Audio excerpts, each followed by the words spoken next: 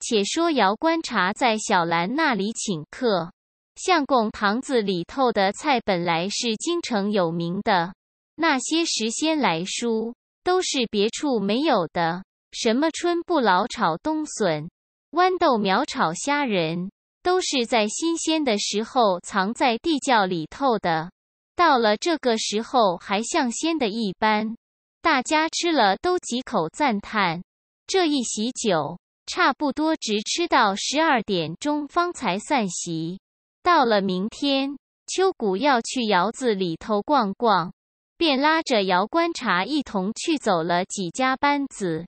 虽然也有两家南班，却都是些扬州人，满口的扬州白，一个苏州人都没有。北班更不必说他。秋谷同住窑，观察走了半天，没有一个合意的，觉得十分败兴。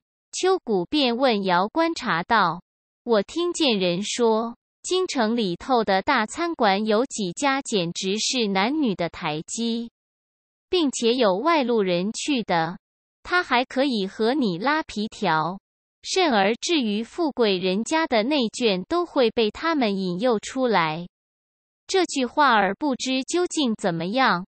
如若当真有这样的事情，我却很想要来试他一下。这个玩意儿却不知道你玩过没有？姚观察笑道：“我也听见人说过这条事情，我自己却没有玩过，不知这里头是怎样的一回事情。大约没有去过的人，需要一个熟人介绍。”方才可以成事。如若不然，他摸不着我们是个何等样人，恐怕万一闹出乱子来。所以没有去过的人，没有熟人同去是办不到的。若是你一定要去，我却不能奉陪。我们一般相识的人里头，只有郑兰生在这里头最熟，你就和他同去何如？秋谷听了大喜，力逼着姚观察一同到郑世玉公馆里头去拜他。郑世玉恰好在家，出来相见，姚观察便把秋谷的来意说了一遍。郑世玉笑着一口应允。张秋谷见郑世玉一口答应，一刻也等不及的就要逼着郑世玉立刻同去。郑世玉也无可无不可的，套起车来，同助张秋谷一同前去。姚观察要去见识见识，便也同助郑世玉等坐车同去。到了东郊民巷左手的一家番菜馆门首，骡车停了下来，三个人下车走近，看那门外的商标时，只见写住大大的“凤苑春”三个黑字。极大的一座三层高楼，甚是宽敞。三个人直到第三层楼上，捡了一个大房间坐下。那侍者是认得郑世玉的，笑嘻嘻的送上茶来，口中说道：“郑都老爷，今天是不是照顾小店的生意？”郑世玉点一点头，对着他把三个指头伸了一伸。侍者便答应了一声是，回过身来就跑了出去。秋谷问郑世玉：“这是什么暗号？”郑世玉道：“也算不得什么暗号。他来问我们是不是照顾他的生意，就是问我们要叫人不要叫人。若是要叫人的，只要向他点一点头；要叫几个，就伸几个指头。”他见了，心上自然明白。秋谷道：“譬如我们一个人叫两个，可行不行？”正是遇到：“一个人叫两个可不行，一个人只能叫一个，并且是无从挑选的，只好看个人的运气。叫来的人也有好的，也有不好的。若是你的运气好些。”或者叫得着一个好的也不可知。秋谷道：“譬如叫来的人，我们看不中意，便怎么样呢？”郑世玉摇手道：“你不要看的这般容易。你要知道，这般出来的宝贝，大半都是达官贵人的姬妾出来找些野食吃的，并不是做生意的妓女。见了男子，先要他自己看中了这个男子，方才肯和他款洽。若是他看不中意，略坐一坐起身便走，休想留得住他。所以这个看得中看不中的问题。男人是莫有主权的，你看中了他，他看不中你，依旧还是枉然。你还当做和上海的妓女一个样儿吗？秋谷呆了一呆，道：“照如此的说起来，我们这个钱花他做什么？那有出了银钱在外面寻开心的大爷们，倒反要受他们鉴赏的道理。正是遇到。”那十两银子是给翻菜馆里头的，你当是给那女人的吗？这般宝贝也是和我们一般的出来寻个开心，非但一个大钱不要，并且还要格外拿出钱来赏给这些菜馆的人。甚而至于有男子和他合适的，只要老住脸皮卑躬屈节的，拍他的马屁。一般也肯整千整万的银子拿出来倒贴男人，也不算什么事情。甚而至于靠住这条门路升官发财的，也不知多少。若是老老实实的说穿了，这个玩意儿就叫做女人倒嫖男子。不过好好的人，虽然做这个玩意儿的很多，却不肯拿他们的钱。比那做妓女的究竟有些分别就是了。秋谷听了，想了一回，忽然说道：“不好，不好！万一个运气不好，撞住了个奇形怪状、丑到极处的人，我们看不中他，他倒看中了我们，强要和我们如此如比起来，这便怎么样呢？”郑世玉狂笑道。这是我也保不定的。若果然有这样的事情，逃又逃不脱，推又推不掉。最怕的你不肯应酬他，他却恼羞成怒，翻起脸来，只说你调戏他，那可不是玩的，也只得咬住牙齿应酬他一次的了。姚观察听了他们两人的话，不由得也笑起来。一面对张秋谷道：“据我看来，大凡这般宝贝，都是些放诞风流的人物，一定都有几分姿色。不过有个高下之分罢了。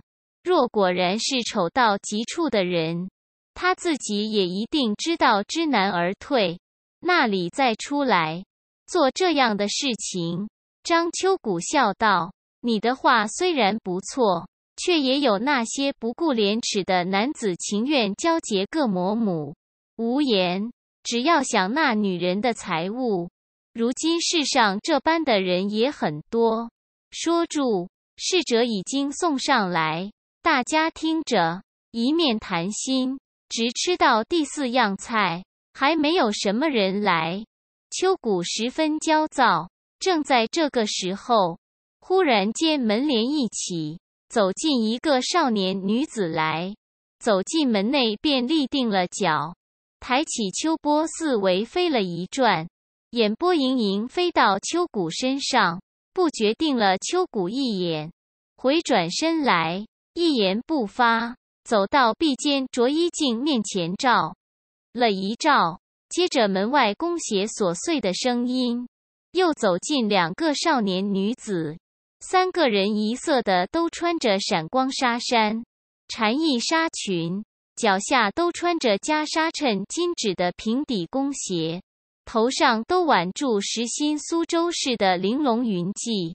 一般的都是长条身材，削肩细腰，华彩飞扬，风神流丽。看着这三个女子的模样，好似嫡亲姊妹的一般，琴手峨眉。横波巧笑，只有那先进来的身材略略长些，月挂双眉，霞蒸两叶，觉得比后来的两个还要盛些。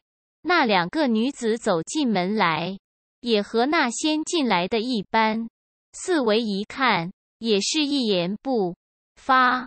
这个时候，姚观察等三个人都立起身来，张秋谷便走到那先进来女子的身后，口中只说一声“请坐”。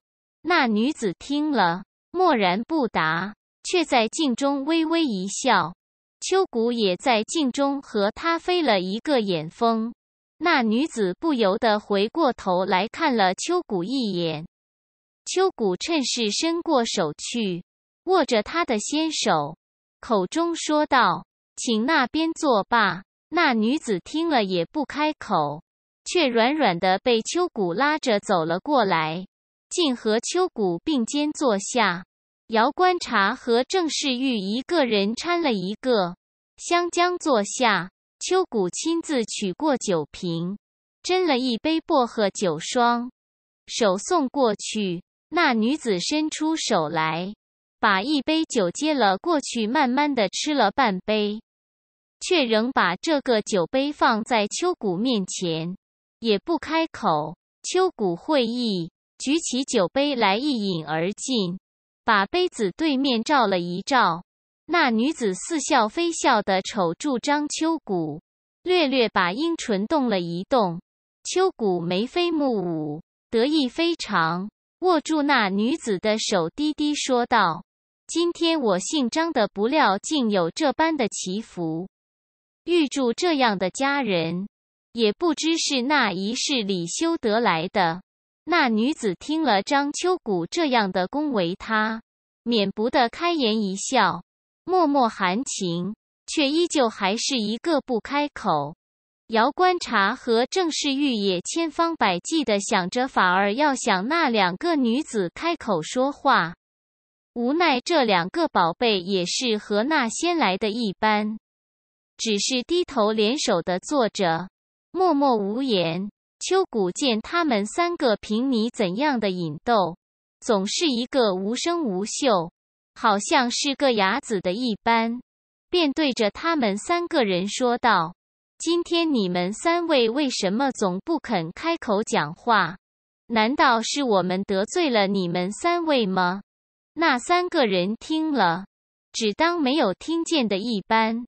秋谷又道：“你们三位这样的天仙化人。”我们三个自然配不上和你们讲话，但是你们三位既然赏光下降，莫奈何也只好委屈些儿的了。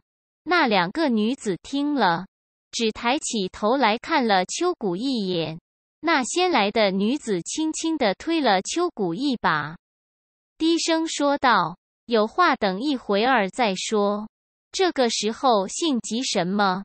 秋谷的了这几句话儿，心中大喜，一连答应了几声是是是是，一面说住，两个人的眼睛就如流星闪电的一般，大宽转的飞来飞去，那眼角眉梢之上，大家都含着无限的深情，一时间说不出来。